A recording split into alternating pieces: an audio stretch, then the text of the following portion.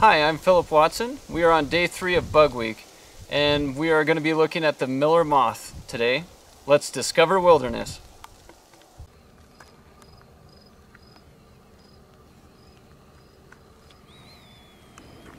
The focus of this week is to find the beauty in bugs.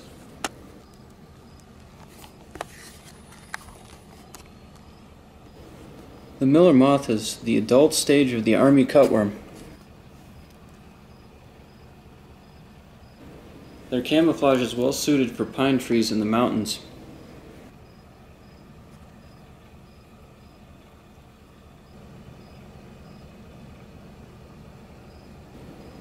While looking at these moths, they may seem common and bland, but a closer look will reveal interesting patterns.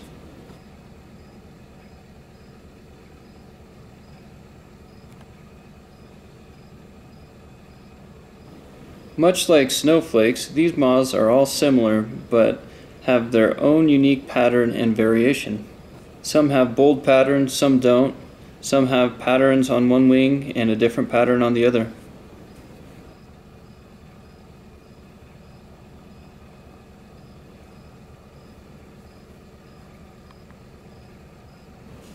Their wingspans usually range between 1.5 and 2 inches.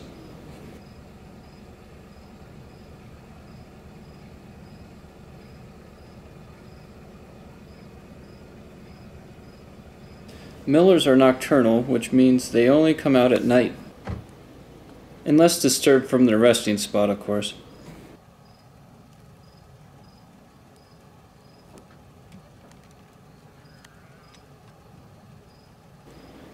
When grown, they usually eat nectar from flowers.